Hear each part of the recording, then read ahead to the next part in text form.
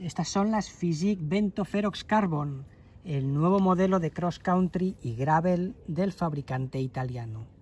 Fabricadas con un upper de poliuretano laminado muy ligero, transpirable y resistente a la abrasión, también presentan un doble sistema de cierre. Por un lado encontramos un BOA LI2 muy preciso y por otro un cierre de velcro en la parte superior.